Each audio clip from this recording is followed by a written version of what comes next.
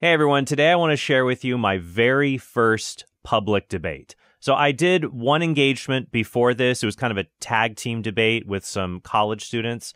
I don't know where the footage for that is. If I ever find it, I'll share it with you. But this is my very first solo one on one public debate. It took place in 2012 at the University of New Mexico.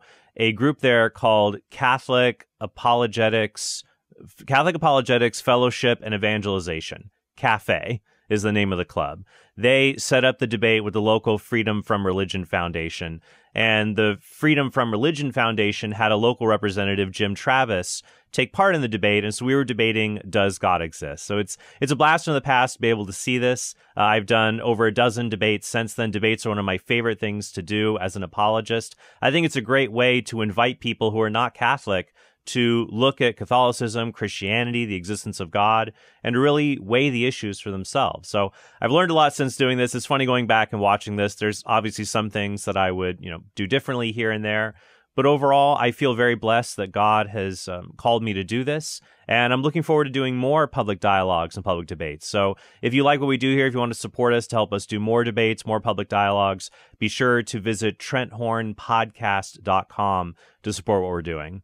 And so now, without further ado, here is my very first public debate Does God exist? Check it out. Um, let me start by introducing our debaters. For the affirmative on whether God exists, we've got Trent Horn. Trent holds a master's degree in theology from the Franciscan University of Steubenville and serves as coordinator of Respect Life Parish leadership support for the Roman Catholic Diocese of Phoenix. He specializes in training pro lifers to intelligently and compassionately engage pro choice advocates in genuine dialogue. He's also completing his first book entitled The Catholic Guide to Answering Atheism. Trent currently resides in Phoenix and is preparing to marry his fiancee Laura in May. Over here on the negative side is Jim Travis.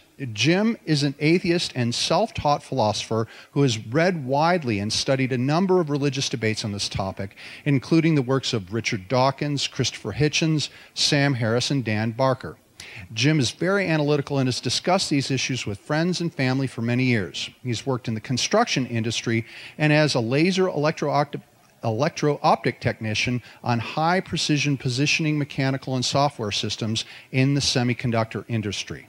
So the debate is going to proceed in a fairly standard format, and we're going to start with Trent with the affirmative opening speech. Right. Can everyone hear me back there? All right. Barely? Let's give someone give me a little boost in the audio. Well, first, I'd like to thank the Cafe Club and as well as the Secular Student Alliance and the Albuquerque Humanists for sponsoring such an important event. And I'd like to thank Jim for his willingness to participate in this debate. In the past, I've asked atheists what would convince them that God exists. Many say a miracle, like the healing of an amputee, would do the trick quite nicely. But the problem with this kind of evidence is that even advanced technology or aliens could perform what we think are miracles. If this is what we call evidence, then we might start worshiping the crew of the Star Trek Enterprise if they turned out to be real. Instead, we should use philosophical arguments that examine the universe as a whole in order to see if God exists. Now, some of you may be skeptical. How could these simple arguments prove such a radical conclusion like the existence of God? Well, philosophers use simple arguments to demonstrate many things that we would think are radical. So this is nothing new to philosophy. With that in mind, I will present four arguments for the existence of God, who we can define as a necessarily existing eternal creator who is the source of perfect goodness. My first argument concerns the existence of the universe. For a long time, scientists and philosophers thought the universe was eternal. But a Belgian priest named Father Georges Lemaitre discovered that if Einstein was correct, then the universe could not be eternal. This is because gravity should cause an eternal universe to collapse. But Einstein's theories would work if the universe were not eternal.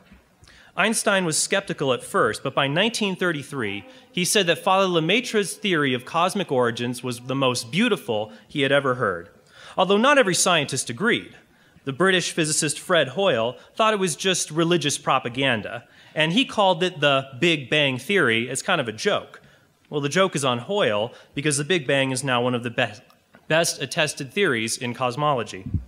The universe's beginning makes up my first argument for God's existence, which is called the Kalam cosmological argument. This argument is currently defended by the philosopher William Lane Craig and proceeds as follows Everything that begins to exist has a cause. The universe began to exist. Therefore, the universe has a cause. The first premise is confirmed in our everyday experience. Remember when I said that the healing of an amputee would convince some people that God exists? Well, we should ask, why is that impressive? We only think this kind of healing, where a limb pops into being from nothing, is a miracle because we already believe that something cannot come from nothing without a cause. So if the universe came from nothing, it too must have a cause. The fact that the universe began to exist is confirmed by three lines of evidence. First, if the universe has existed forever, then there would have been an infinite number of days, or temporal events, before today. But if that were true, then time would have to go through an infinite number of days before today happened. But think about that. When time reaches yesterday, and that's day number infinity, what does that make today? day number infinity plus one. If the past is infinite, then time can never reach the present moment, and today would never happen. But today did happen. Therefore, we can conclude, as St. Bonaventure concluded in the 13th century, that the universe had a finite past and a beginning in time. Second, entropy will increase in the universe until it reaches a dark, lifeless state known as heat death. Entropy just means disorder, and it is a law of physics that everything tends towards disorder. That's why it's easier to keep your house dirty than it is to keep it clean. The universe is the same way. Eventually, all the stars will burn out, and the universe will be a cold, dark, and lifeless place. But if the universe were eternal, then heat death would have already occurred, and nothing would exist.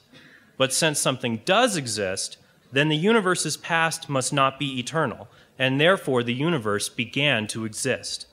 Third, as I said before, the Big Bang has been confirmed by numerous observations in astronomy since the 1920s.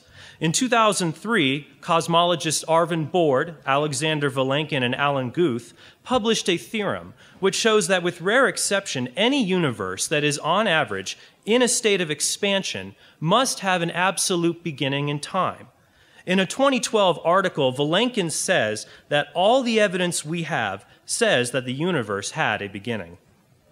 Now, if all time, matter, space, and energy have a cause, then the cause of these things must be immaterial in order to create space, eternal and timeless in order to create time, and very powerful, if not all powerful, in order to create something from nothing. Finally, if the cause of the universe were just an impersonal force, then this force could not choose to make a non eternal universe. Therefore, the cause of the universe, while eternal and timeless itself, must be a person or mind that chose to make a finite universe. We normally call this immaterial, eternal, powerful mind God. The mind, this mind must also be very intelligent, because our universe seems to be the product of design. Now, some atheists will say that evolution explains life, so God isn't needed. And I actually agree that life did evolve. But the odds of us being in a universe where life could even evolve at all are astronomically low. Consider this argument. The universe possesses finely tuned constants and conditions necessary for life to exist. This fine tuning is either due to necessity, chance, or design. The fine tuning was not due to, to chance or necessity. Therefore, the fine tuning of the universe is the work of a designer. Constants are the unchanging numbers in physics, like the constant c in E equals mc squared. These constants came into existence right after the Big Bang, and they must be set with incredible precision in order to have a universe with intelligent life. For example, the cosmological constant represents the strength of gravity found in an empty vacuum. While once thought to be zero, it is strangely fine tuned to the 120th power. Conditions are things like the amount of matter and order at the beginning of the universe. The Oxford physicist Roger Penrose says that the odds of our universe would start off with low disorder. We have a clean room, so to speak, for our universe. that is necessary for life to evolve are 1 in 10 to the 10 to the 123rd power. This double exponent is so big, if I wrote out the zeros, they would fill up the Milky Way galaxy. It is much, much more likely that our universe should be a supercondensed ball of matter or a thin mist of hydrogen gas, instead of a universe with complex life in it. Atheist Lawrence Krauss, in his book, A Universe from Nothing, admits that this fine tuning is the most profound, unsolved fundamental problem in physics today. So, what explains this fine tuning? Richard Dawkins, in his book, The God Delusion, rejects the idea that the universe had to be this way or is necessarily fine tuned for intelligent life, because it's just too much of a coincidence. But what about chance? I think chance is a really bad explanation, and here's why. Imagine you're playing poker, and one of the other players in your game gets 10 royal flushes in a row. Do you think that player is cheating? You probably think he's cheating because the odds of getting such a collection of hands are astronomically low. The odds are 1 in 10 to the 50th power. But the odds of getting just the cosmological constant right are 1 in 10 to the 120th power. And don't forget about that huge number I told you about connected to the entropy in our universe. If you think the poker game with 10 royal flushes is rigged by a cheating player, then you should think our universe, which is even more improbable, is rigged by a cosmic designer. My third argument is a moral argument for the existence of God, and it proceeds as follows There exist moral facts. These moral facts have either a natural or a supernatural origin.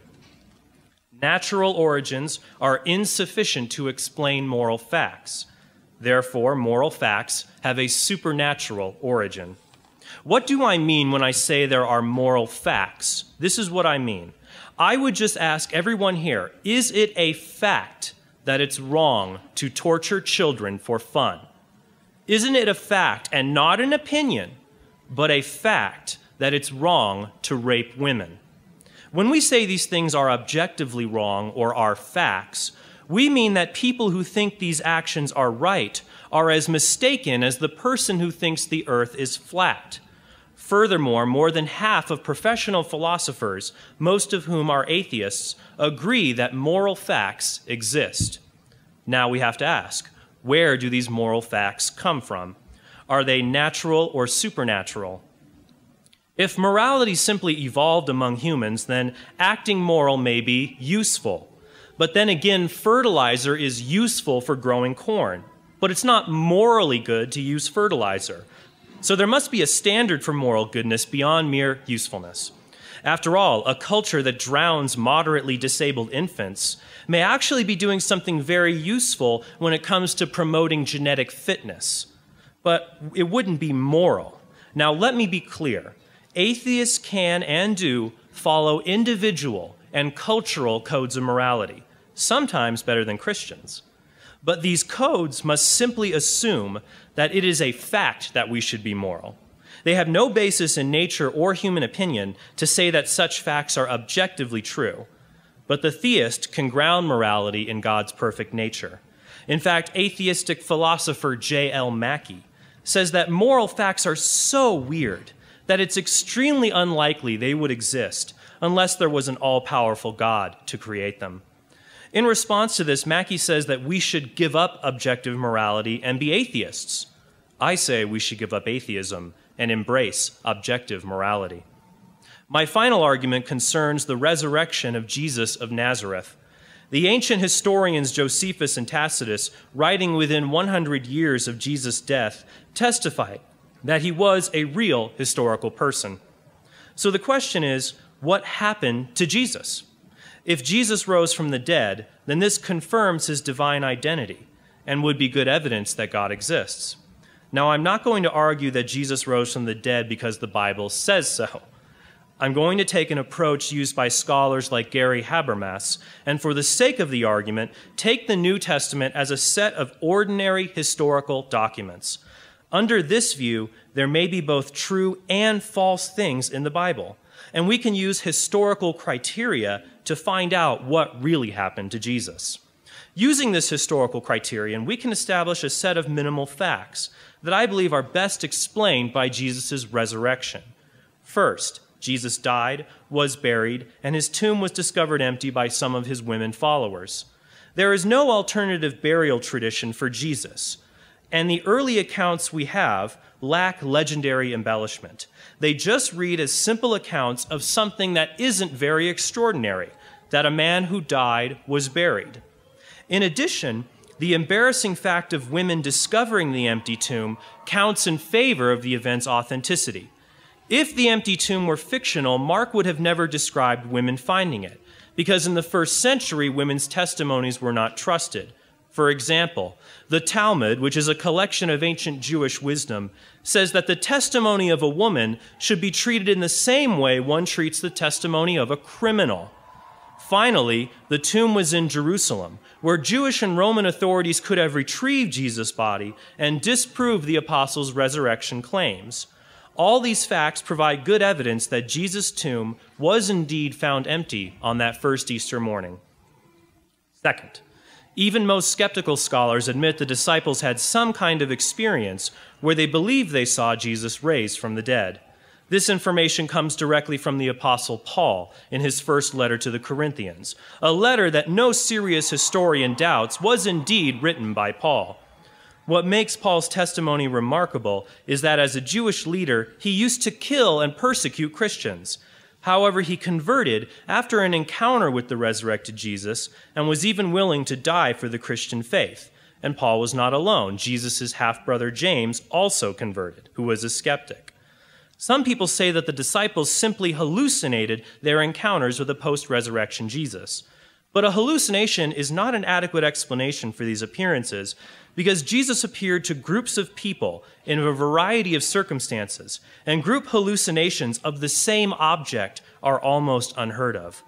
Also, a hallucination would not explain the conversion of skeptics like Paul or James, and it would not explain Jesus' empty tomb. Even if the apostles had hallucinated, they would have imagined that Jesus was in heaven with the heroes of Israel and had not resurrected prior to the end of the world. Such a belief was simply unheard of in the first century. Jesus' resurrection was not something to just believe on a whim, and if it were false, these men would not have gone to painful deaths for it.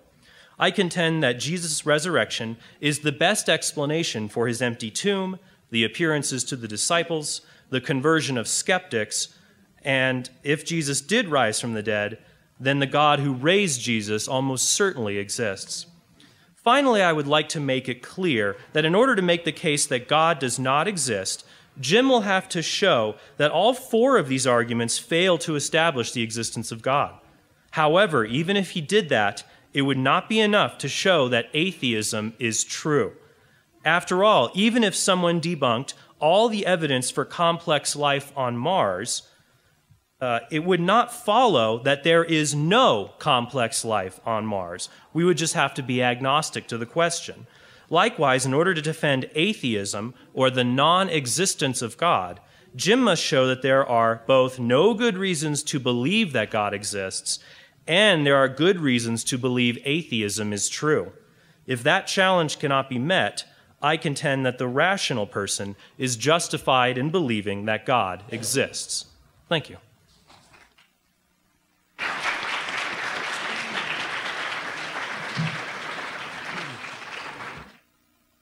That was a lot of numbers there. Didn't bring my calculator. First of all, thank you all for coming tonight. In the interest of time, I just want to thank everybody who had any hand in putting this together. It uh, came about pretty quickly and uh, looks like a great turnout.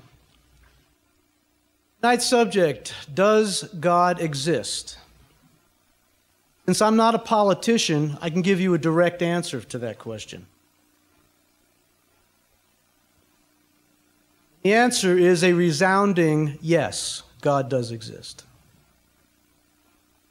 Exists in the minds of human beings, and only in the minds of human beings. To demonstrate that, I'm going to take you on a quick thought experiment. I want you to think of the world, universe, as it is right now. Everything you know is exactly as it is right now.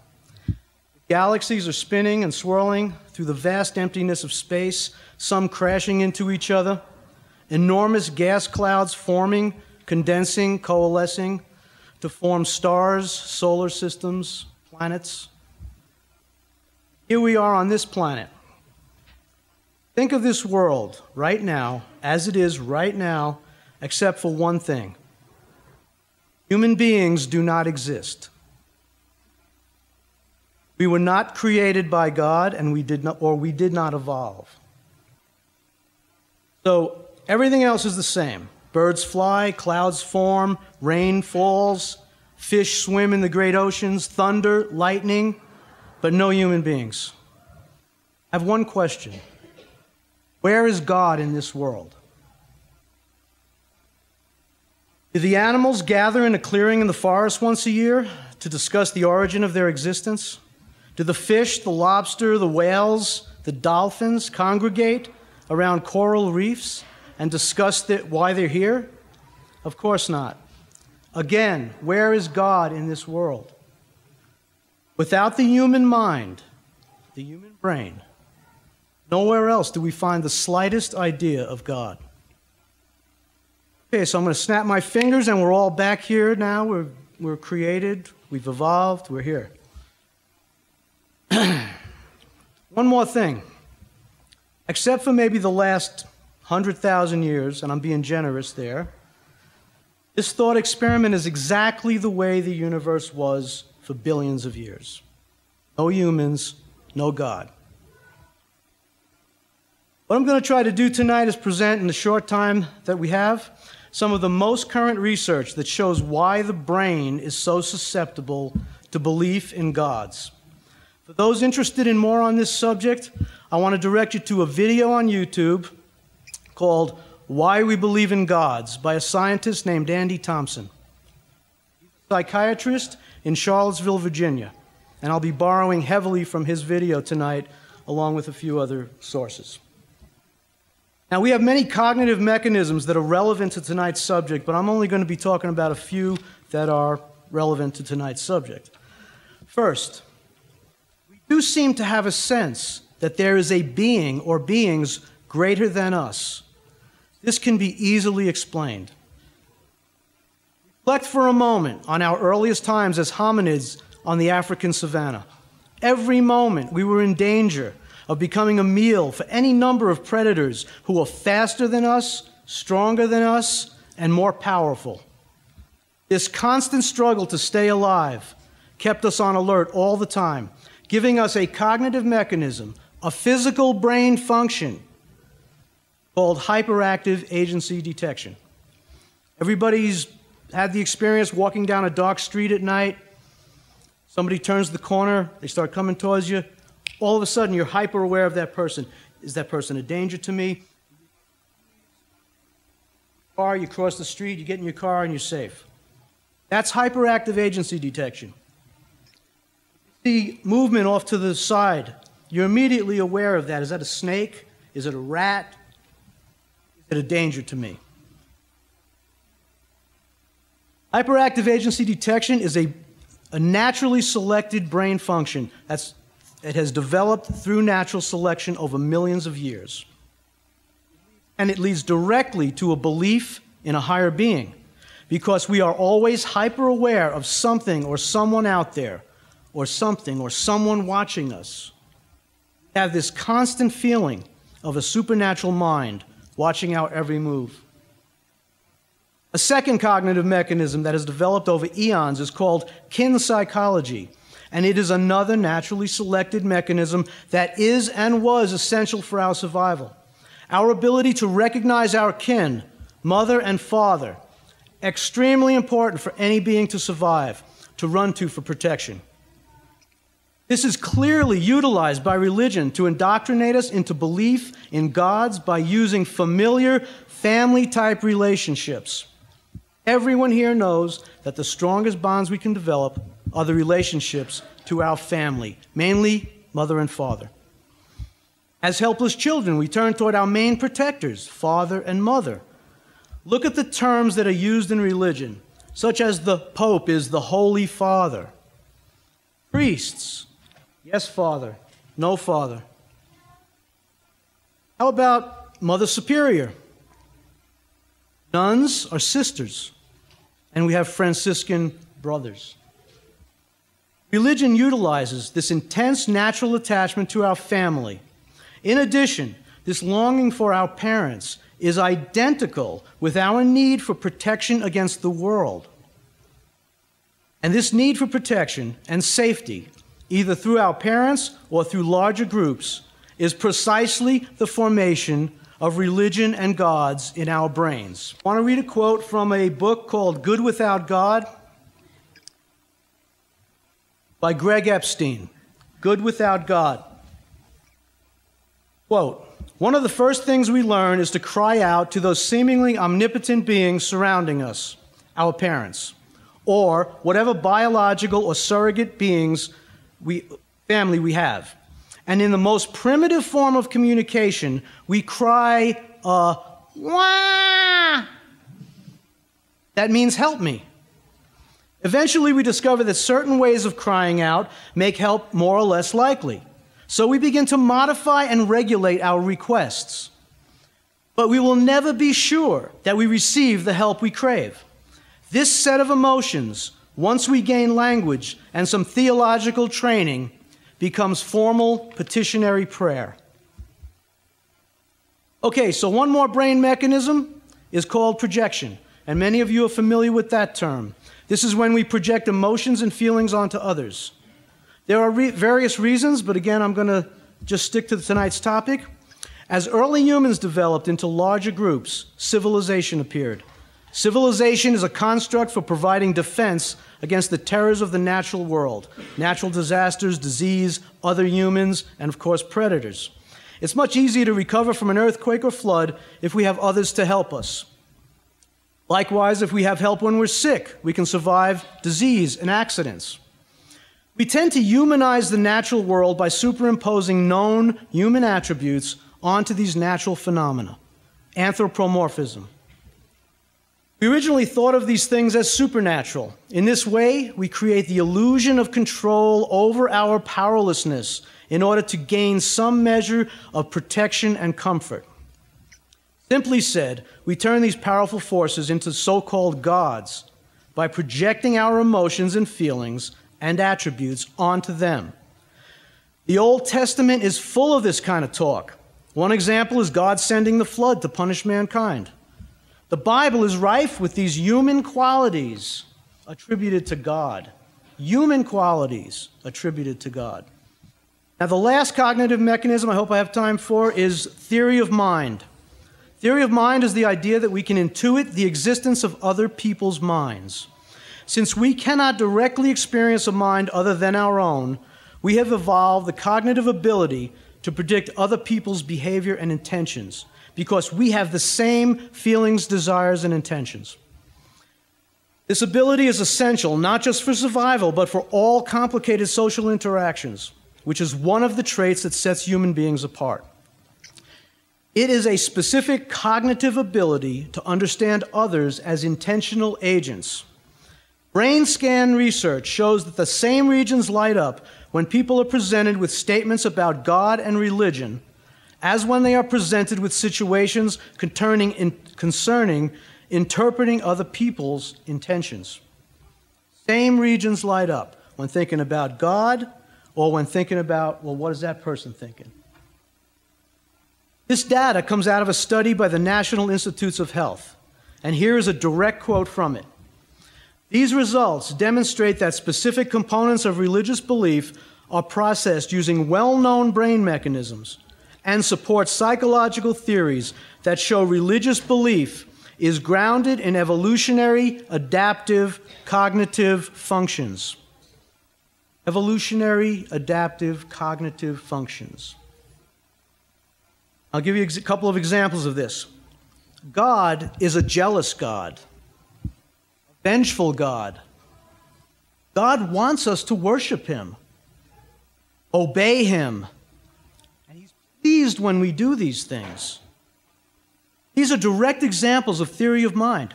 we are intuiting that God has intention, that He wants, that He needs. But the description of God is that He's all knowing, all powerful, omnipotent. Why does a God with this infinite amount of power have these purely human attributes, these human faults, you might even say? You have to say to yourself, something doesn't add up there. In addition to the few brain functions I've mentioned so far, there are many more that are used by religion to instill and maintain belief in supernatural entities. Also, many human attributes, such as a sense of fairness, a sense of right and wrong, an ability to cooperate with one another, these attributes are clearly found in other primates. Chimpanzees, bonobos, and some monkeys show these traits, as well as mammals and even insects. Here is a quote from a study by Jessica Flack and Frans de Waal. These are primatologists. Frans de Waal has been studying primates for 50 years. Quote Animals, including chimpanzees, have not evolved moral systems anywhere near the level of ours, but they do show some of the behavioral capacities that are built into our moral systems.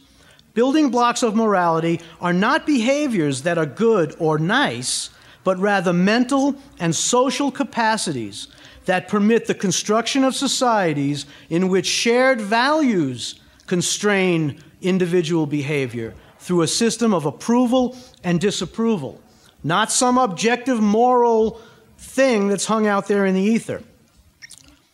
This is a better explanation for moral reality than we see in the world around us, than to posit that some supernatural being just created moral, moral, correct moral behavior.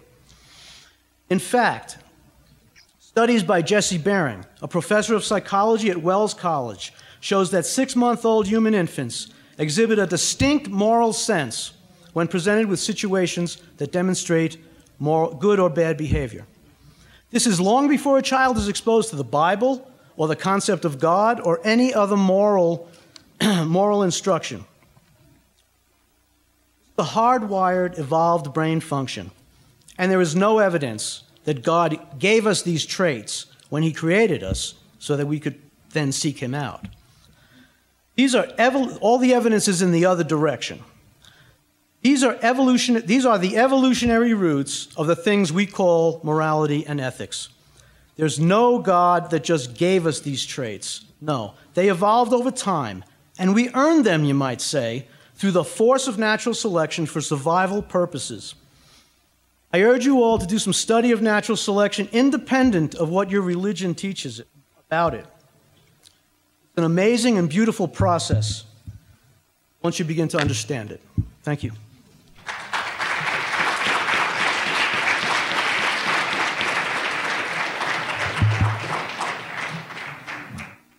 Well, I'd like to thank Jim for that opening statement. You'll recall that I said that there are two contentions that I would show there are good reasons to think God exists, and there are no good reasons to think atheism is true.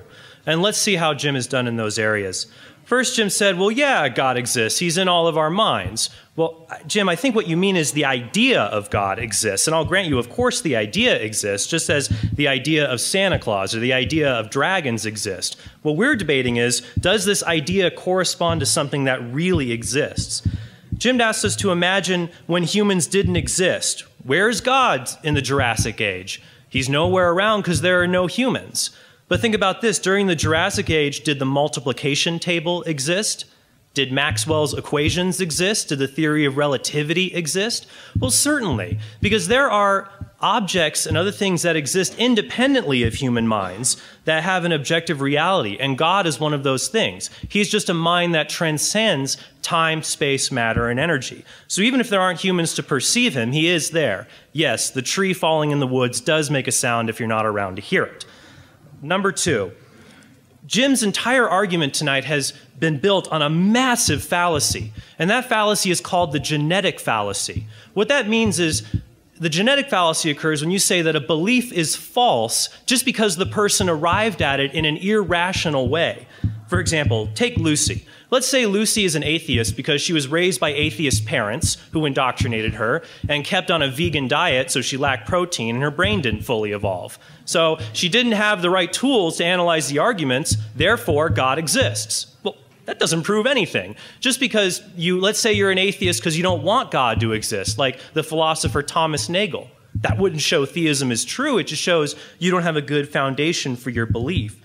So the reasons that Jim gave dealing with hyperactive agency detection and that evolution has programmed us to find God those are really irrelevant to tonight. As, as the skeptic Michael Shermer says in his book, The Believing Brain, he says, even if our brains are programmed to seek out God, the question still remains does God exist? Your brain may be programmed to find that snake in the grass, but I tell you, it either is there or isn't. So you, we need serious arguments to examine if this God does exist.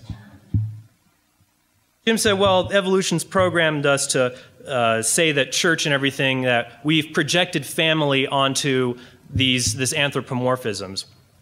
I would say, though, that if God exists, He's designed us to be ordered towards family. And we see this. Even atheists are guilty of anthropomorphism. They sometimes say that we should protect the environment because of all the earth has done for us. Well, that, that's just a projection. The earth is an inanimate object. And I'm not going to get into it, let this debate get into anything about the anthropomorphic uh, issues in the Bible. This debate isn't about biblical inerrancy, it's about whether God exists at all. Jim made an interesting argument about other people's minds, and I think his main argument tonight is going to work against that. He said that we've learned to identify other people's minds through evolution, that we have to assume other people have minds in order to get along and survive with one another. But think about that. What if I made the argument that uh, any, everyone you see around you does not have a mind. Because think about it, your brain was programmed to find minds in other people for your survival. So since evolution's programmed you with hyperactive agency detection, and you can't empirically see other people have minds, you only see mind-like behaviors, it follows no one else has a mind. But that certainly doesn't follow at all. And in fact, if God exists, that would make sense that humans have minds because they're made in God's image. Number seven, Jim says that in our brains, the, the same regions light up when we think about God and when we think about the intentions of other people. But that is exactly what we would expect if God exists, because God is a person and he has intentions. So we'd probably wonder well, what would God want me to do? Does he want me to fill out my taxes? Does he want me to worship him? Does he want me to cheat on my wife? If we're trying to figure out God's will, then that area of the brain will light up because God's a person who has intentions for us. Now, Jim said that God's emotions are just an anthropomorphic projection, that, oh, we need God to be there, and so we say he's jealous and needs us to worship him. Well, and he says, well, God, this conception of God, he's jealous, insufficient. Why would he need us? And I agree that God doesn't need us. We need God. When God says to obey him, he doesn't do it in an egomaniacal way. Because he's the source of perfect goodness, he is the greatest being possible. He has no deficiencies. He's perfect goodness of what it is. He knows it is best for us to follow him because he's infinitely smarter, more loving, and kinder than we are. So, worship for God isn't for his sake, it's for our sake. That worship means to give someone their worth's ship. And to say that God doesn't deserve it and we should get all the credit when he's the infinitely perfect being, omniscient, all powerful, perfectly good, all loving, kind, and just, that would be egomaniacal on our ends to deny just the matter of fact that I should probably respect this being. I mean, we all respect police officers when they pull us over, and they only have a mildly more power than we do. So I, I think we should probably respect God, not out of his power, but the fact that he is perfect goodness himself. He is being itself, and without him, we would not be here. And my, I think my arguments have demonstrated that. Jim says that animals exhibit moral behaviors too. But I will say that animals only exhibit uh, evolutionarily dis disposed altruistic behaviors. Animals literally ascribe to the idea that you scratch my back, I scratch yours, and maybe pick out a few fleas while I'm there. Hopefully, you're not doing that with anyone here. But Jim made an interesting point. He said, well, this explains things because there are no moral facts, and people are just predisposed to find their own morality. I would disagree. I would just say that we should not. Uh, I think these moral facts are self evident, that it just is a fact it's wrong to rape women. Even if you evolved in a society that said it was useful or good, it would still be wrong. Uh, you know, killing uh, innocent children just because you find joy in it, that's just a fact that it's wrong. And even though people disagree about moral facts, people disagree about, the, about empirical facts too, like uh, different scientific facts, but that wouldn't cause us to doubt what really exists. So I would say that Jim has given no arguments to show that atheism is true, has failed to refute my arguments, and that the rational person is still justified in believing that God exists.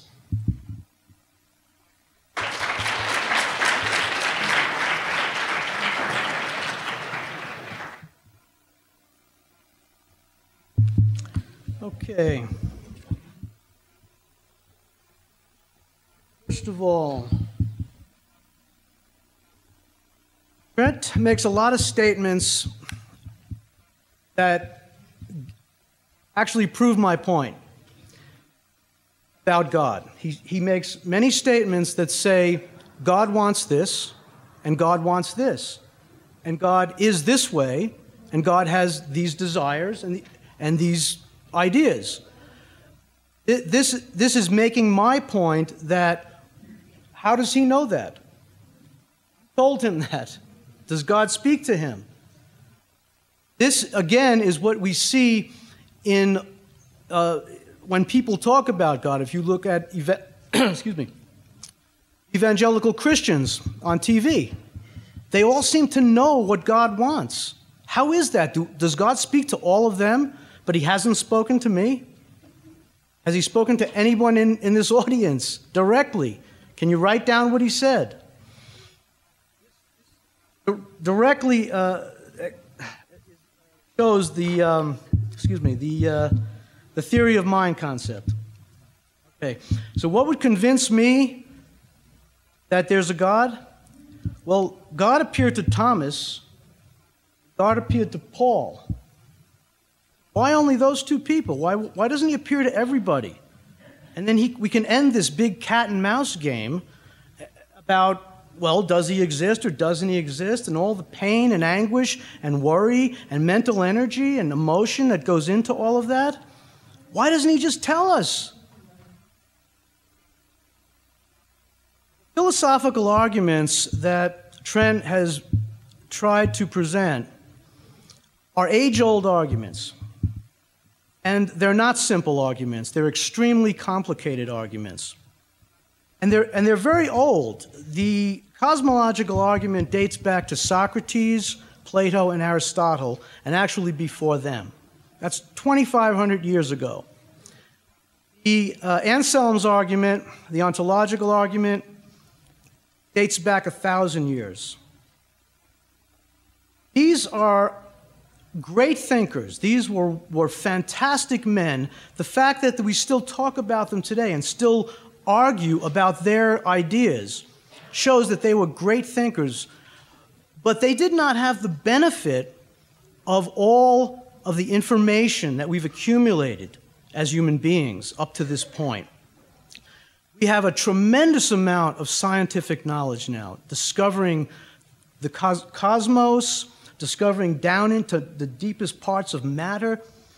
And for us, I, and I, I can speak for Trent here because I'm not qualified to argue these physics arguments. They are very complicated, deep arguments. And, and I know he's not a physicist. So we're just touching the surface of those arguments. And those are not arguments that bring people to a belief or send people away from a belief in any kind of a, a deity. These are arguments that are, that are for philosophers and physicists. And over, when they make a discovery like that, these arguments trickle down to us 10, 15, or 20 years later, if we're lucky.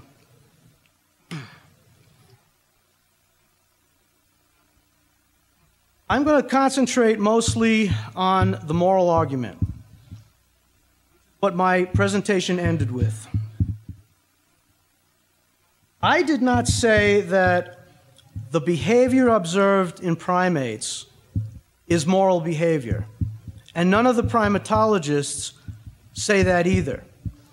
But it is the building blocks, just the building blocks, the beginnings of a type of moral behavior.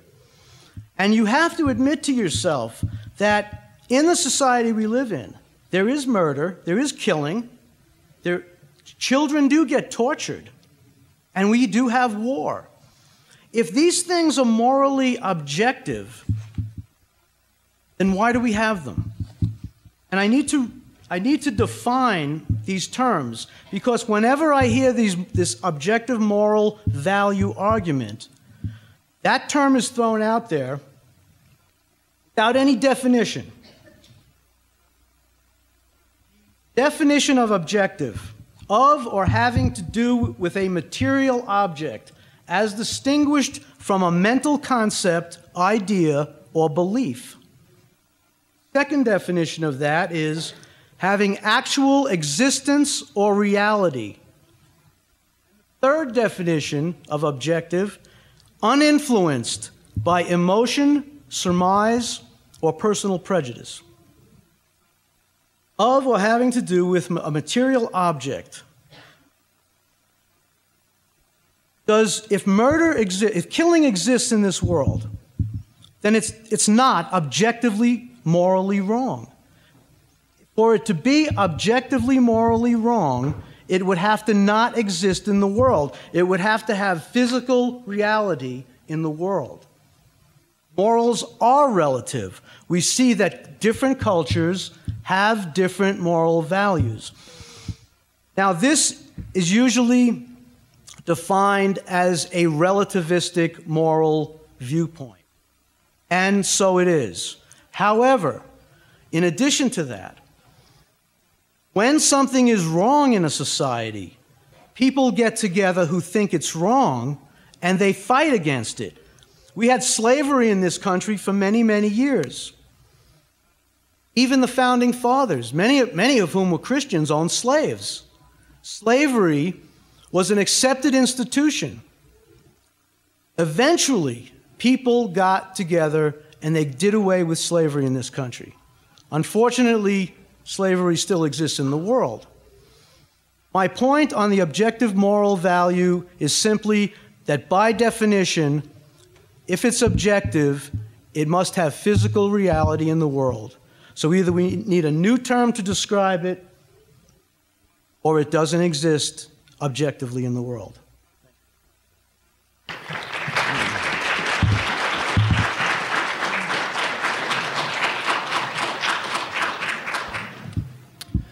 Let's examine those arguments that I presented for the existence of God.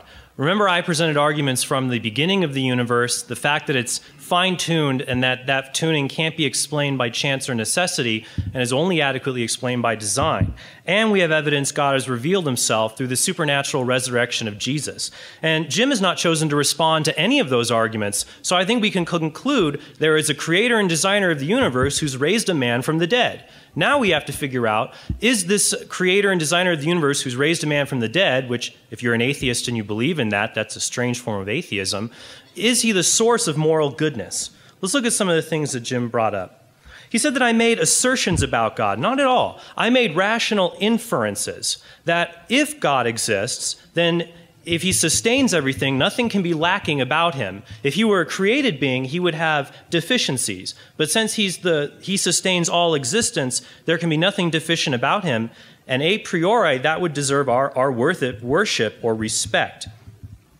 Also, that if Jesus has been resurrected from the dead, which my argument went unchallenged, uh, Jesus said we should love God. And if a man can walk out of his own tomb, what he says, that's good enough for me. So, who, is, who has God spoken to? Well, I don't think he speaks to me directly. I believe in a public revelation. And if Jesus rose from the dead and particularly founded one church to give the deposit of faith to, and Jim hasn't presented an argument to say that's false, then we can be confident in resurrection. I'm sorry, in God's revelation. Why isn't God more obvious? Well, I think that if God made his existence obvious, it would compromise our moral freedom. Our decision to follow God, if he made his existence obvious, would be no more free than your decision to travel the speed limit when a police officer is following behind you. God wants us to be to cultivate virtue and be like him, and I think he has revealed himself in nature and conscience. In Romans 2 14 through 16, God, uh, St. Paul says that God has revealed himself to people's consciences so those who don't know the law can know God. he said, Well, these arguments for God are really old. Well, it doesn't mean they're false. Just because something is old doesn't mean it's wrong or false. If you doubt that, ask your grandparents. Uh, I mean, atheism is old as well, but that doesn't mean that it's false.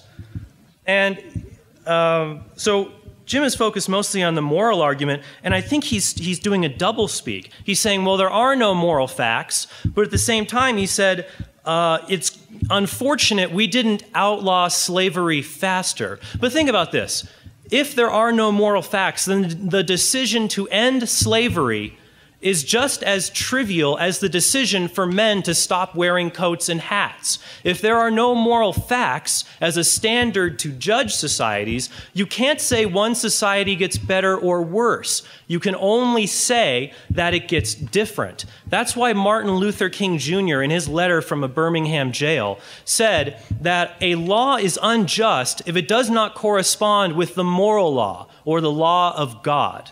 So, if moral relativism is true, people like Dr. King are always wrong because society always outnumbers them. But I think that moral facts do exist, that in the natural world, when you see a primate forcibly copulate with another primate, we call that mating. Now, if moral facts don't exist and you saw a human primate do that with another human primate, you'd have to call it uh, mating as well, but we don't. We call it rape. So Jim's definition of objective is just wrong. He says objective things have to be material, but mathematic and scientific truths are not material, but they are objective. And I agree that moral facts have existence and they're, they're uninfluenced. Jim has confused objectivity with universality. When I say morals are objective, I don't mean everyone believes them. I'm saying that they are facts that are true regardless if people disagree. When I say rape Oh, am I, am I done? Well, thank you very much.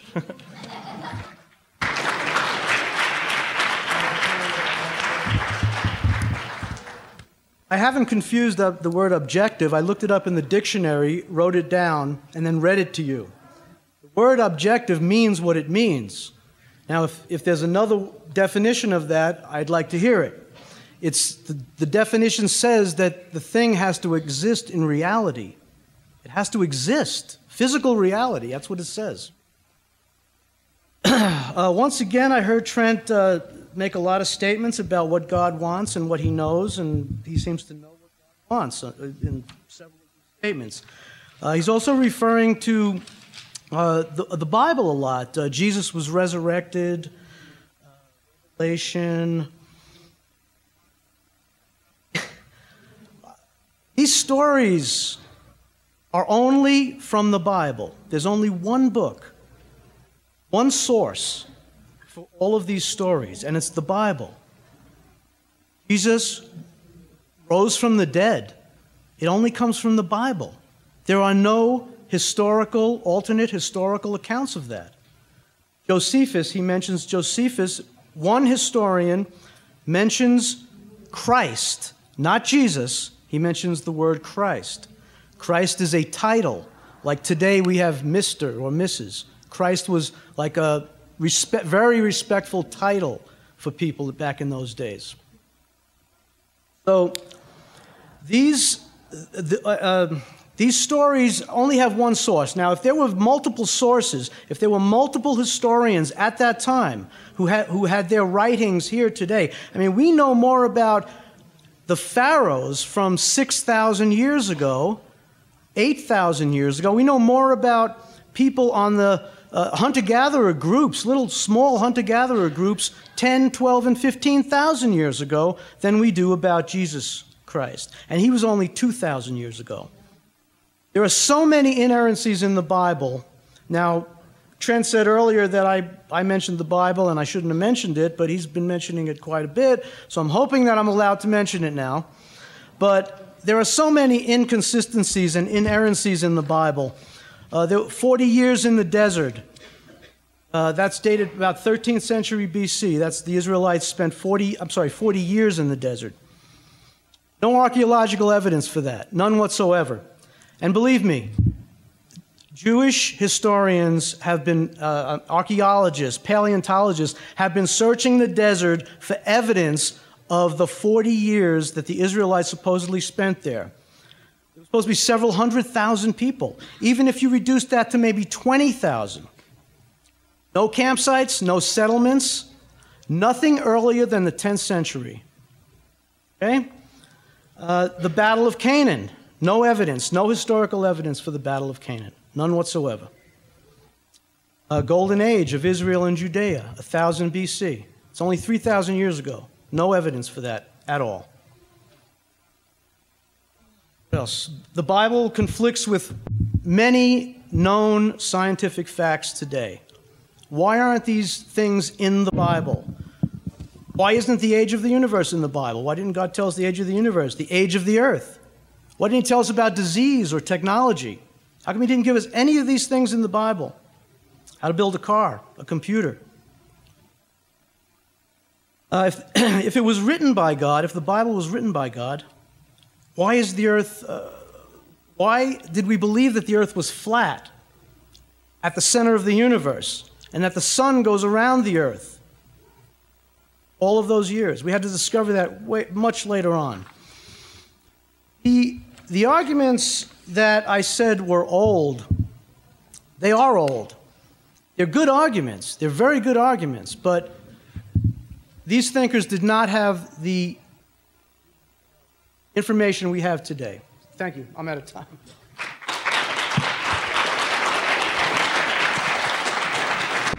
You want to take the mic? You want to take your mic for cross? What we're going to do now is we're going to take a, a, brief opportunity to have them do some cross examination with one another. But at this time, I'd like if you have any questions that you'd like to uh, have me read to the speakers, I'm going to go through those questions and try and sort out um, what I think are the best ones for the debate. So take them and put them towards the center, and Destiny is going to pick those up. Um, so take just a second to do that, and then I'm going to I'm going to start the uh, cross examination with uh, Trent, who's going to cross examine Jim. Okay. All right. Let's. I got a few questions here. Uh, Jim, is it possible that for, is it possible for the Bible to have errors in it and for God to still exist? Yes, it is, but not but but you can't use the Bible then to and say it was written by that perfect being, that all perfect, all knowing being. It, it doesn't work. Oh no, I would agree with you that. Um, but yeah, that would be begging the question to say that God exists because the Bible says so, and the Bible's right because God made it. Definitely, that's begging the question. But I only used the Bible to affirm Jesus, and I said it wasn't made by God. It could have true and false things. So, on the question of Jesus, you said that uh, Josephus only mentions Christ. Uh, have you read the two passages in the Antiquities that refer to Jesus? You haven't read them.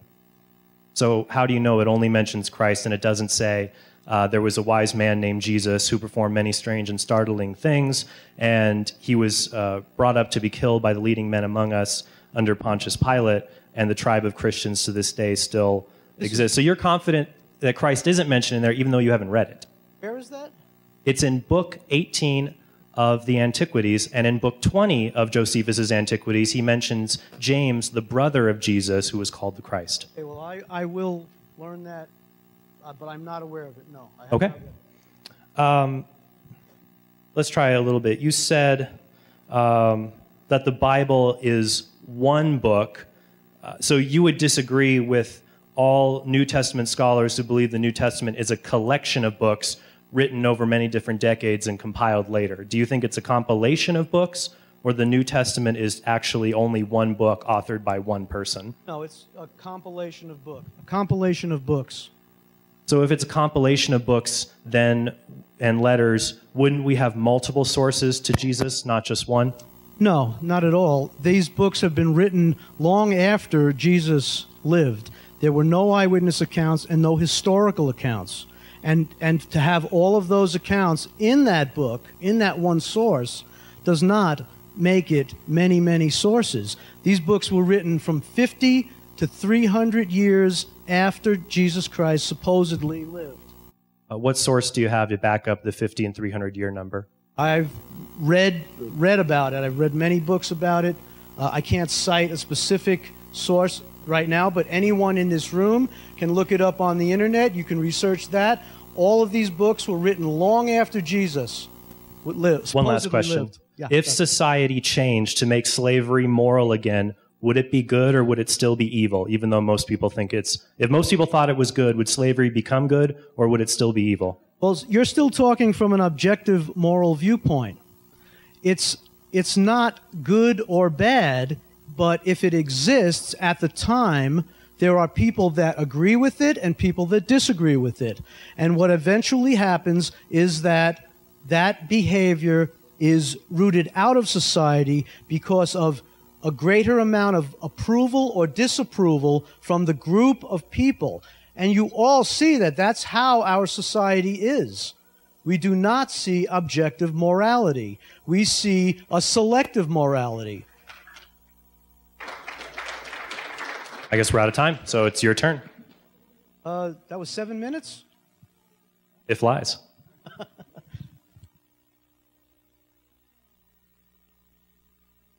You believe in evolution? Yes, I do. Okay. And it's also the position of the Catholic Church. And in 2004, the International Theological Commission by the Church affirmed with Cardinal Ratzinger, the current Pope, saying that it's highly plausible that life evolved and that that came from the Big Bang. Okay, and um, we have souls. You believe we have a soul? Uh, I believe that everyone here is not just a molecular machine, that there are immaterial aspects of them. So, did God give us a soul at some point during this evolutionary process?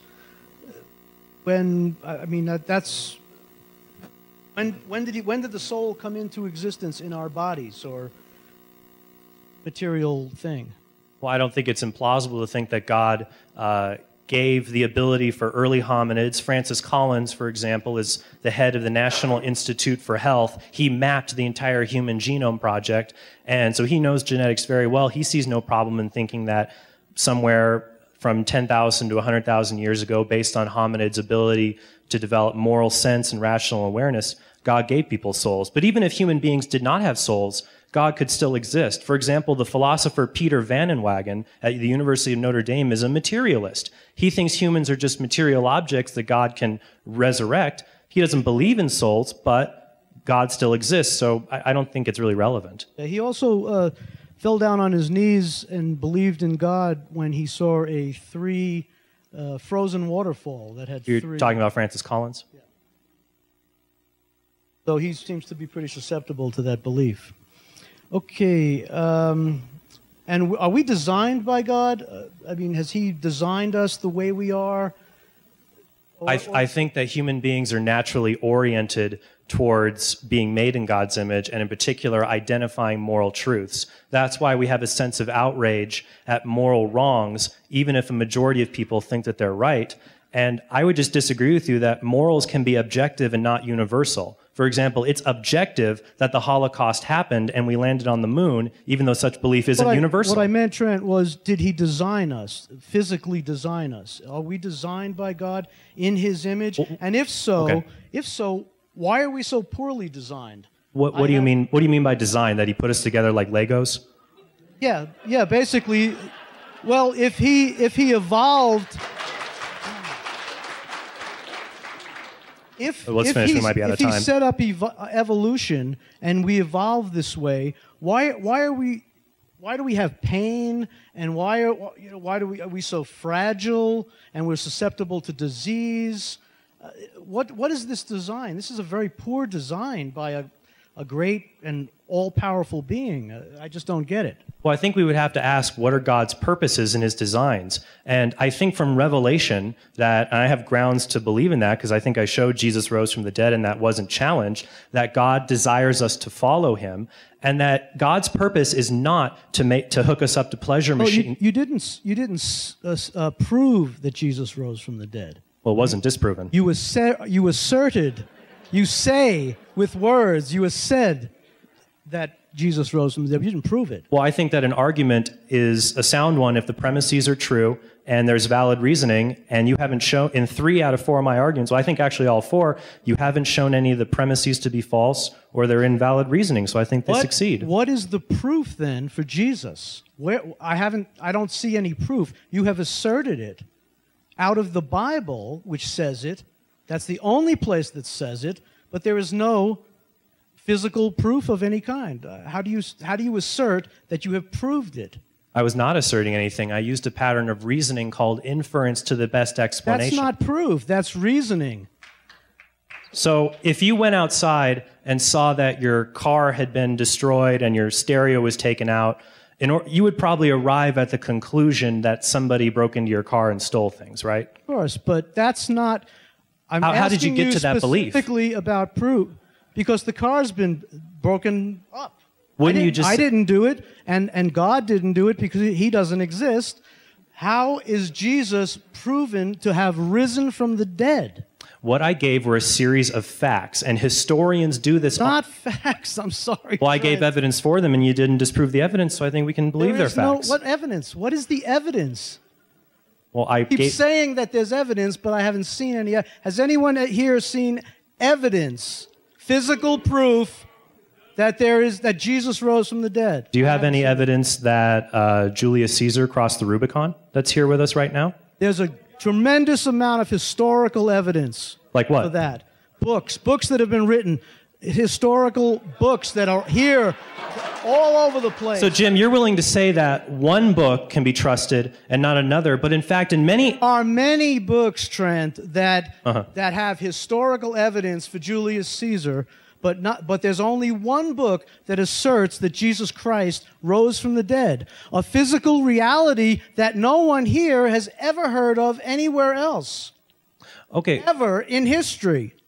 Okay, but if it's a singular event, what I said was I'm making an inference to the best explanation. I gave good evidence. Well, that's do you, I mean, do you think Jesus existed?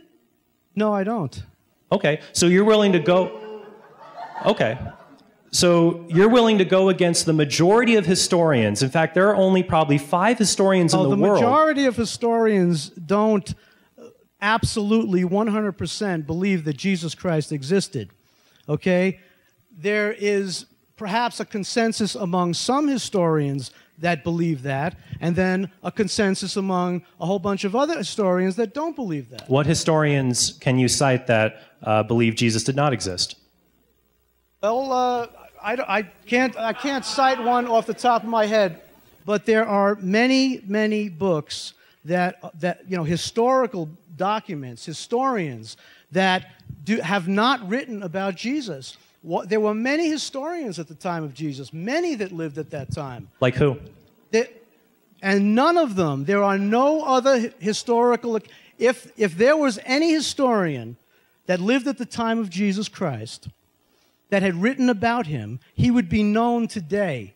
He would be the second book next to the Bible that would offer proof of Jesus Christ's existence at that time. And there is not one, and that's why I don't know of any, because I'm not going to read historians that have not written about him. But what I would recommend that you read a book. Bart Ehrman is an agnostic scholar. He writes book criticizing Christianity, but he's written a recent book called Did Jesus Exist? And Ehrman says in that book that even though many historians, including non-Christians, have different views about Jesus, many of them think Jesus was just a eccentric prophet, they all agree that Jesus did exist. And I only can only think of less than five on my hand that doubt that. Richard Carrier, Robert Price. Okay, well, I guess we're out of time. Very good. Very But good. it's 99% to 1.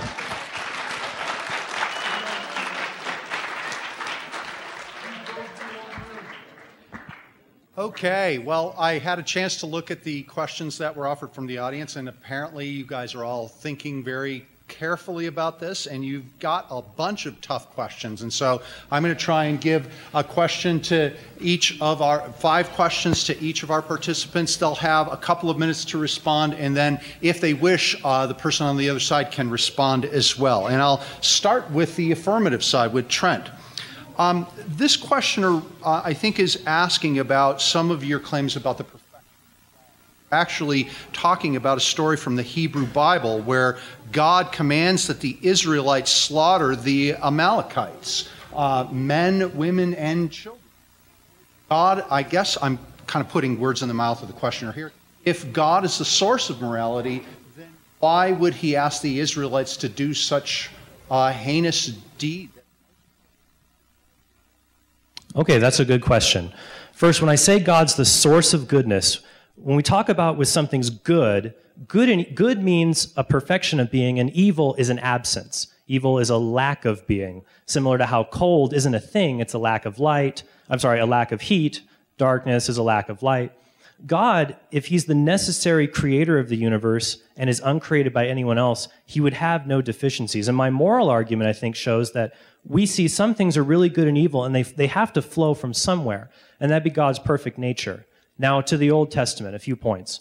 One, let's say that all of it was true and that God ordered this and it was immoral. That would not prove that God did not exist. It would not prove that the resurrection did not happen. All that would prove were those, that those things, those events did not happen.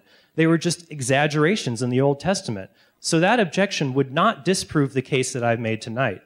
Number two, God has sovereignty over our lives. He creates us, and I think it's a good thing we're not, we don't live eternal lives here on earth. We get bored pretty quick. God ends our lives, and then we have an eternal existence after that. So God ends people's lives all the time. I don't think that that's wrong.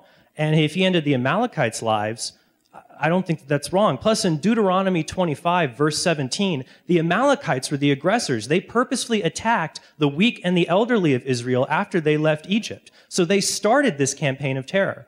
And finally, there are many Old Testament scholars who say the commands to kill women and children are ancient Near East exaggerations. Similar when we say our team slaughtered them on the basketball court. We don't think it's splattered with blood. Because the book of Judges describes the driving out of the Canaanites uh, as just driving them out and smashing idols. So I think a good case can be made that the book of Joshua, where the Amalekites are described, that's epic narration that uses exaggeration.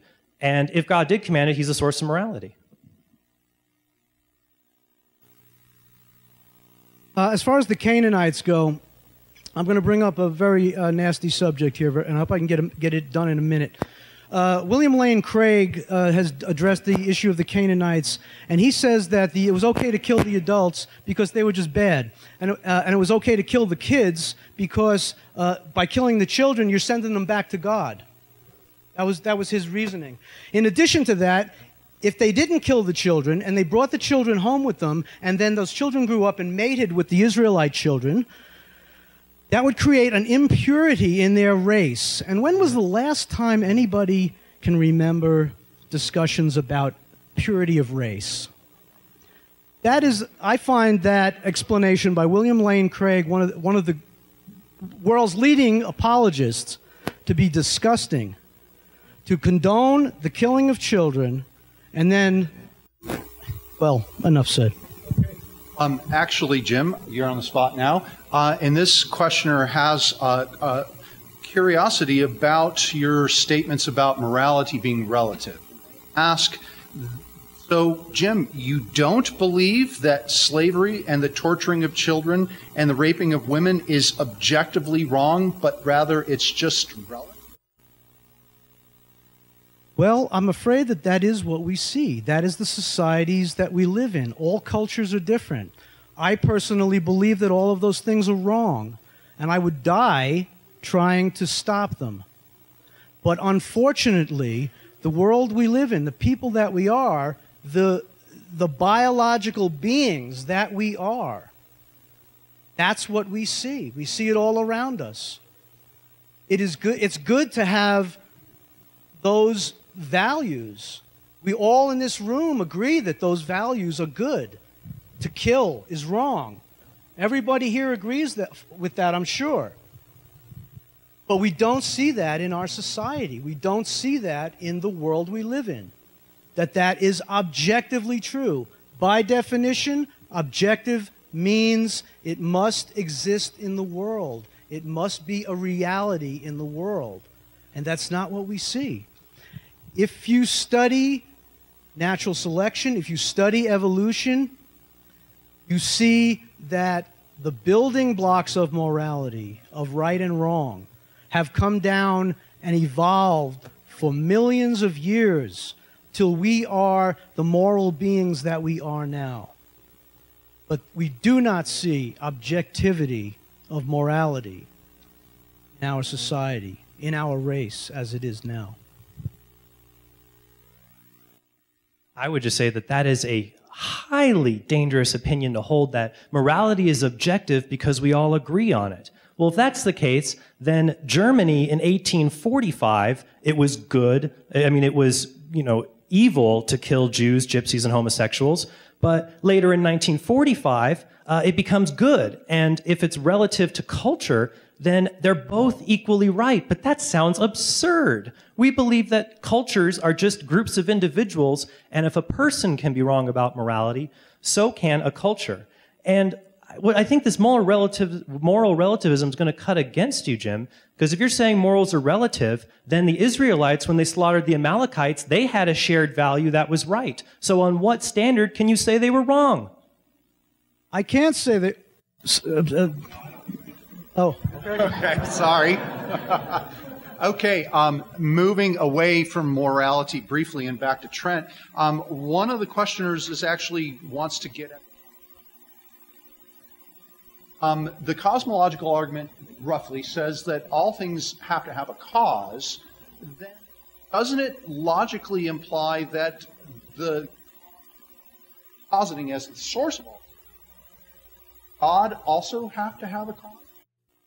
Well, what I would disagree with that statement is I think it's false that everything has to have a cause. I don't believe that, and I don't know any Christian, Jewish, or Muslim theologians that do believe that. My argument was not that everything has a cause, it was everything that begins to exist has a cause for its existence. And I gave three lines of evidence one philosophical and two scientific to show that the universe did begin to exist. And if it began to exist, it would need a cause outside of it. And remember, the universe is all space, time, matter, and energy. This cause can't be material because it made space. It's got to be eternal because it made time, and it had to be very, very powerful. And it would have to be a mind because it's choosing to make a finite universe like ours as opposed to just a mindless eternal force spawning an eternal universe. So you're correct. That argument would be false because the first premise is wrong. I don't think everything needs a cause. But if something begins to exist, being can't come from non being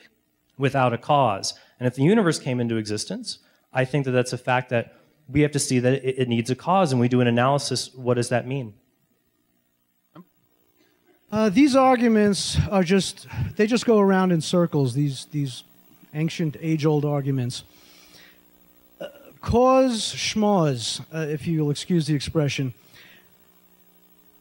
There are, there is no reason, whether there was a cause or there wasn't a cause, there's no reason to believe that God was the cause. There could be many other explanations. At one time, there, there's many things that we did not know, and we now know to be true or to be different from what we thought. And to just assert that God is the reason, God is the cause, just is a dead end. It, it doesn't go anywhere. It doesn't, it doesn't uh, allow for a continuation of exploration of the world, of the universe, of ourselves. So I just, I, I, just don't want to really deal with these arguments anymore. There's so much more information in the world now than these cosmological, ontological, teleological arguments. They're, they're, they were great at the time, but their time has passed and they don't accomplish anything. Okay. Um, back to Jim now. And this has to do with a, a, questioner that was wondering about your dictionary definition of objectivity as having material existence. And Trent responded, and I guess the questioner wonders what you have to say about this that if you say that something objective has to be material, then what do you have to say about mathematics, which seems to have objective truth without having a material basis? Very, very good question. And I'm really not sure how to answer that, but the word objective means what it means. I, if anybody here has a has a, a, phone, they can look it up on the internet. Uh, what is the definition of objective? If it says that it must have physical reality. Now, the, the term objective, moral, value, that term if you put those words together, they have to have meaning by definition of what those words mean, what the definition of those words are. And that's what I'm going by. So, mathematics, you can say it existed before human beings were here. That's possible. And then human beings come along and we discover it because it's already here. Uh, it's, it, you know, I, I really, I'm, I'm at a loss to answer that question because, yes, they, that is objective. It is objective that one and one, one plus one is two. But, but it also, that has meaning in physical reality when you apply the numbers to things. That, and that's what we do. So. Well, I would just say 1 plus 1 would equal 2, even if there was just a Big Bang singularity and there were no objects, it wouldn't become false. And my only response to this, considering objective, I just find it really odd that you're making fun of me for considering the Bible infallible, but you seem to think the dictionary is infallible. I'm just going by definition, Trent. All hail Webster. I'm just, I'm just going by the definition of the word. If you want to use terms, then you got to define the terms. And the Bible, you know, has, this, this there's the only book that says the things that it says. Okay? It's the only book that says that. Okay, we're going to move on to Trent here. And this goes back to the moral issue that is part of your early argument. The questioner asks um, if morality comes from God, then how do you explain the fact that there are people that are born with personality disorders that um, cause them to have a lack of empathy and compassion? Uh, if morality comes from God, why do some people seem predisposed to not have it? Okay, we need to separate when we talk about morality moral ontology and moral epistemology. What that means, moral epistemology is how we know moral truths. How do you know what's good and evil, right or wrong? Ontology is what makes moral facts true. And I think that moral facts can only be true if they're immaterial facts that exist and compel us to act a certain way, they have to come from an eternal, immaterial source. So when we look, though, uh, at the issue of moral facts, that people, yes, they disagree about morality, and some people seem predisposed to not act morally. But that's an issue of epistemology, how we know morals. Morals can still be objective, even if some people disagree, or if they are genetically predisposed to not know them. For example, I think I'm genetically predisposed to be bad at math, but math is still objective. Or some people have uh, brain disorders called prosopagnosia. They believe there are, there's no objective difference between people's faces. So they have a brain disorder that keeps them from seeing objective reality. But certainly people have different faces even if they can't recognize it. So a psychopath who can't recognize moral facts uh, they're just simply mistaken. They're as mistaken as the man who thinks 2 plus 2 equals 5 or the man who thinks the earth is flat. Comes back to the brain, the evolved brain. And in psychopaths and sociopaths, there is definitely a distinctive difference in the brain. The epistemological information and the ontological information doesn't help the situation, but when you look at the biological problem that, that, that a person like that has, and you apply that physically to the world and, and come up with real world answers, that's what's important. Esoteric arguments don't help that person and don't help society.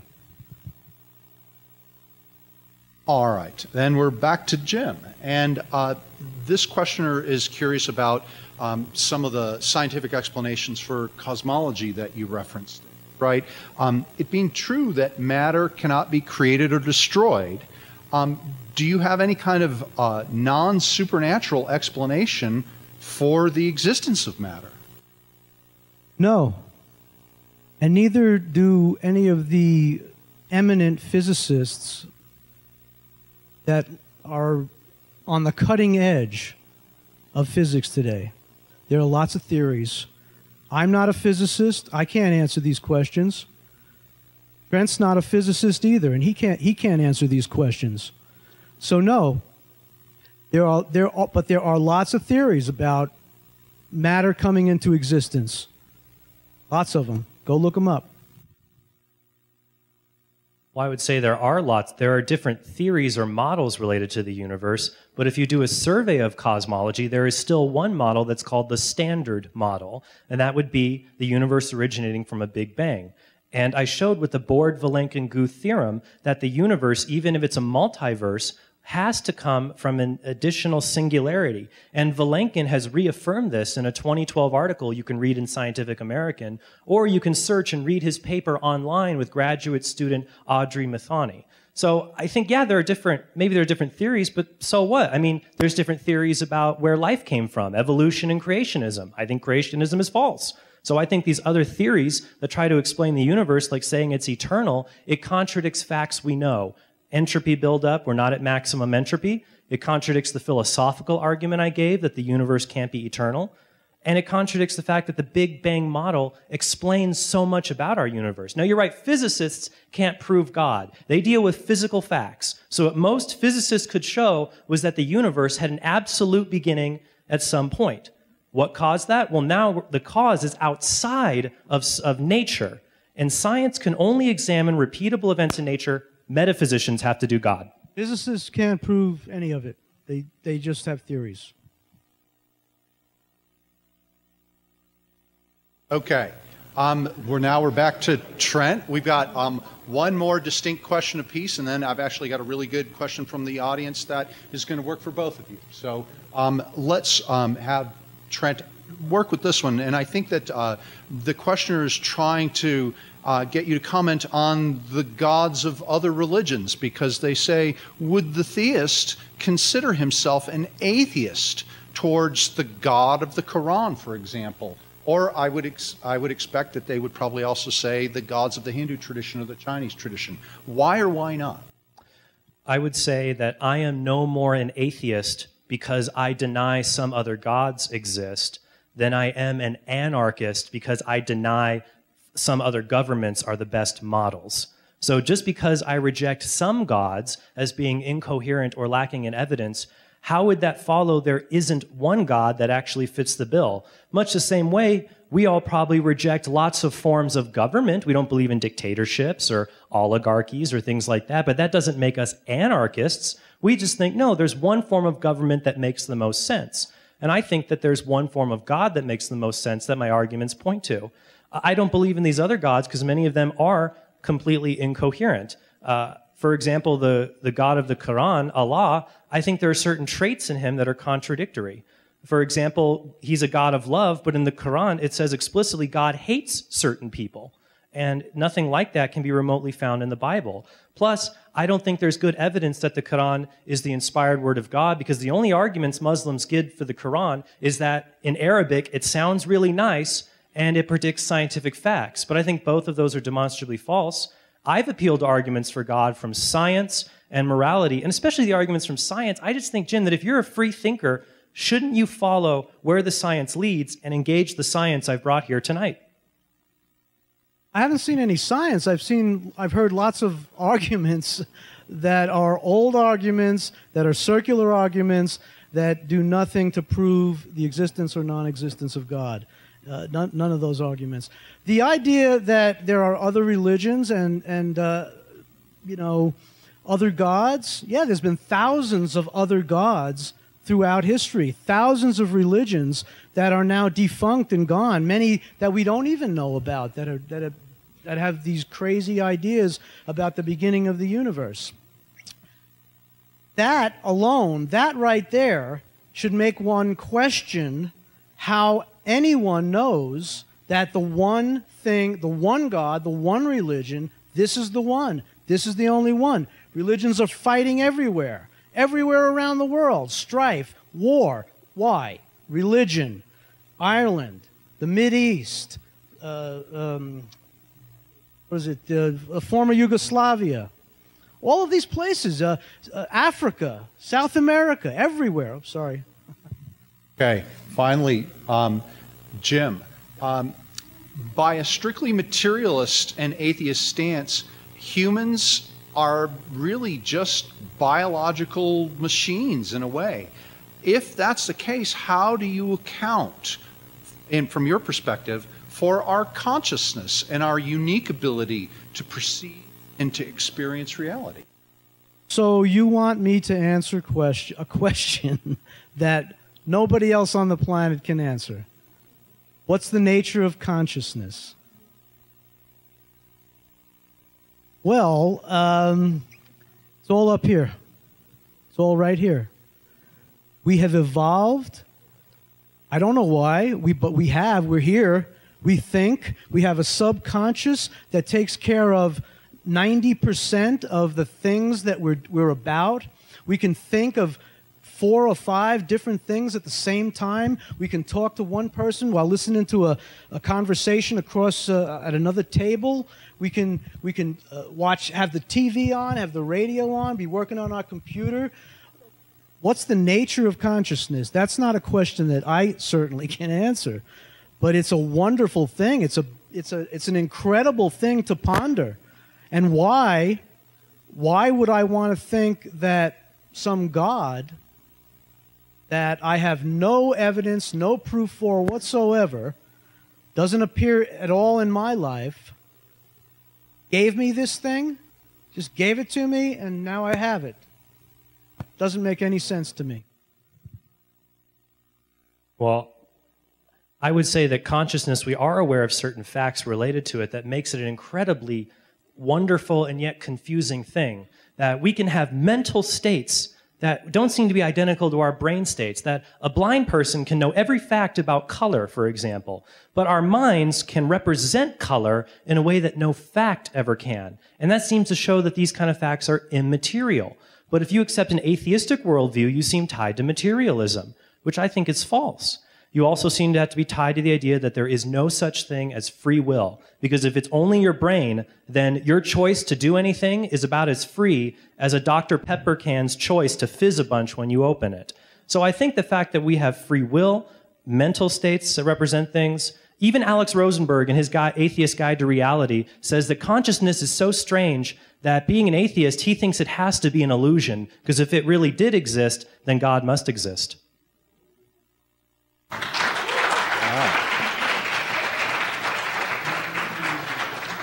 Okay. Um, finally, and this goes to both of you, and I'll let Trent answer first and then Jim uh, finish up. The questioner asks hypothetically, let's say that the outcome of this debate led to an ultimately definitive conclusion that one side won and the other side lost. And let's say that this sensibility spread, that either in your case, theism became much more prominent and atheism die out, or in your case, atheism became much more prominent and theism uh, began to die out. Uh, could you both comment on what you feel would be the social implications of each one of these outcomes? I would say we have no idea what the social outcomes would be if everyone converted to atheism. On the one hand, in Nordic Europe, we seem to have very secular society. your perspective. Oh, no, I thought you meant what, how to say to atheism. I guess you could probably do both. Would you like me, both or one? both. Okay, both. All right, let's do both. Okay. If atheism became widespread, we wouldn't be sure. It could end up like the Nordic states, where we have uh, pretty well functioning socialist countries, or maybe it could be like the Soviet Union. Richard Wurmbrand, in his biography of being tortured in the gulags, describes the communist guards saying, I thank God in whom I don't believe, because now I may express the evil that is in my heart. And they rejoice in their torture. So it could be good, it could be bad. Same for theism. But I would say the social consequence of a belief does not show the belief is true or false. Evolution could lead to good things or bad things like social Darwinism, where we leave the weak humans to die on their own. But if evolution's consequences don't relate to the truth of the theory of evolution, theism and atheism's consequences don't bear on the truth of those positions either. Well, if atheism, uh, first of all, I, I, want, I need to say atheism is basically, well, I don't believe in God. After that, there's a whole lot more that that does not include. So, humanism then would be believing in humanity, in human beings, and thinking about this life here. So, if the idea of humanism began to spread, that would be a good thing. So, all of the mental energy and, and emotional energy that goes into thinking and worrying about what God is, is thinking about me and what I should do, and all of that kind of energy would go then into helping humanity. We'd be focused on each other. We'd be focused on what pain are you in that I can help with. Those are the kinds of things that I would be focused on.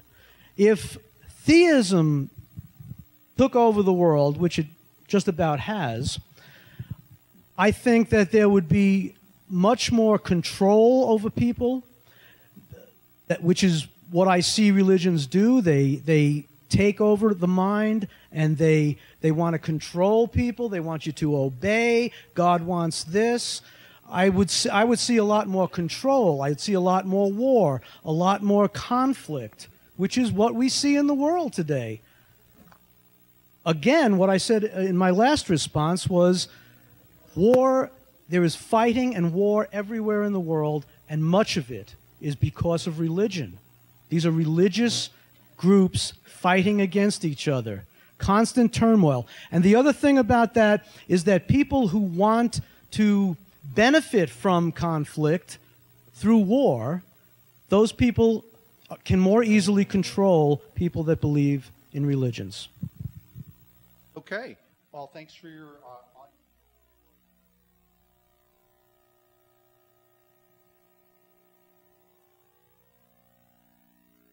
I'm going to try to tie together the threads of this debate to what we talked to what we discussed tonight. Remember, I said that I would uh, propose four arguments for the existence of God and show there were no comparably, comparably good arguments for atheism. And I think that Jim has an ar- hasn't given any good arguments to show that God does not exist. At best, he has shown that we are predisposed through evolution to find God. But as Michael Shermer, the editor of Skeptic magazine, says in his book, The Believing Brain, even if that were the case, there would still be the question does God exist? Because maybe we're programmed that way because there is a divine programmer. So I think there's no other good arguments for atheism that were offered tonight. As for the arguments for theism, my arguments from the beginning of the universe, the universe is fine tuning, and the argument from the resurrection, the premises were never challenged, nor the reasoning. So I think there's no good reason to think that they're false. Uh, Jim has sort of resorted to name calling with the arguments, and that's really the argumentum ad hominem. They're old.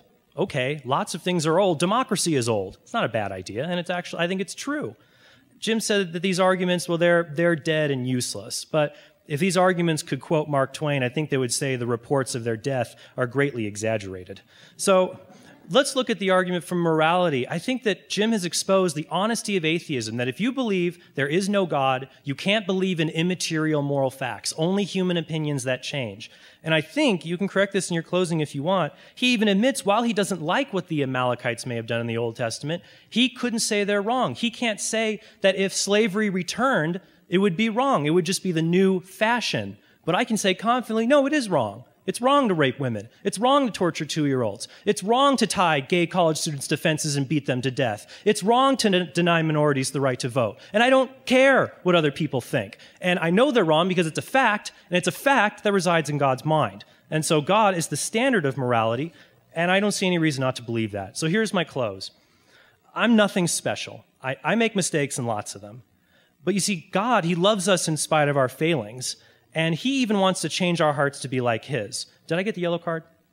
All right, let's keep going.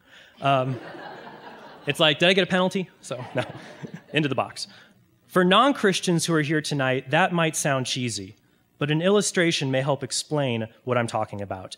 In the musical Les Mis, Jean Valjean is unjustly imprisoned for 19 years, and even on parole, he can't find work.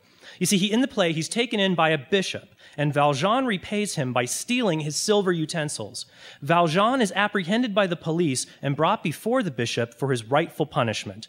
Amazingly, the bishop tells the police that he gave the silver to Valjean as a gift and even gives him more silver on the spot.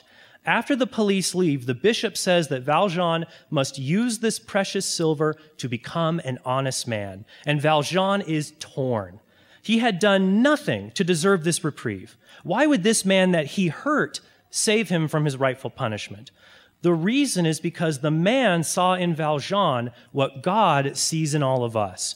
And loving Valjean as he would love his own son, the bishop gave Valjean grace, or the chance to become a new man and not be enslaved by his crimes. And this is what Christianity teaches that no matter what sin you have committed, God desires to take away the sins of the world and grant us peace. Christ's sacrifice is not a free pass to sin. It's a free gift that turns us into the men and women we were meant to be. And so I hope you'll be moved by the evidence I presented tonight. I hope as atheists, you'll be free thinkers and consider this evidence and not write it off. And Christians, I hope you will consider the evidence Jim has presented and maybe read some books on atheism, because you should examine both sides and make a rational decision. That faith is uh, seeking understanding. Credo ut intelligam was the medieval philosophy. I believe in order to understand. So I believe in order to understand the world. So we all should examine both sides, and that's why I'm glad Jim was here tonight. So I hope you'll be moved by the evidence I presented. And with God's offer of grace, I know all of you know that you were meant for something. And I hope you'll take God up on that offer. Thank you.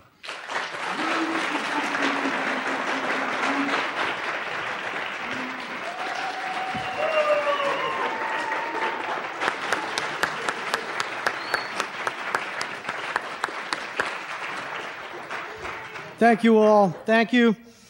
Uh, I'm not going to take five minutes. I just have about a two minute closing. Uh, my, my purpose here tonight really was not to prove the non existence of God, but to bring new information to, the, to this discussion and open, hopefully open your minds. Just, just like Trent said there at the end about reading some books different, other than the Bible and, and learning some, some new things about who we are. So, uh, uh, just a last uh, couple of thoughts. I just want to say that there's a tremendous amount of research that's very new in the last five to ten years. We in the general public don't get to see this stuff for, for decades sometimes. It's very important, very interesting stuff, and we have the ability now to get on the internet and, and have that information at our fingertips in a matter of moments. God is.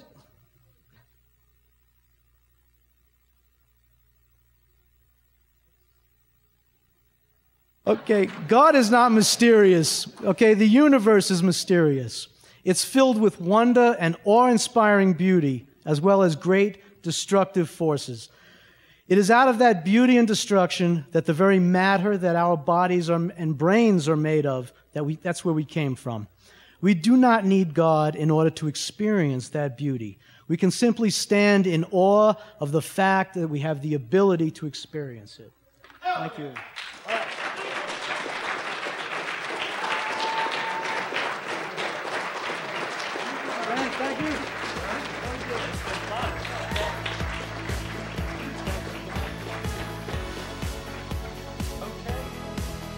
Hey, thanks for watching this video. If you want to help us produce more great content like this, be sure to click subscribe and go to TrentHornPodcast.com to become a premium subscriber. You'll help us create more videos like this and get access to bonus content and sneak peeks of our upcoming projects.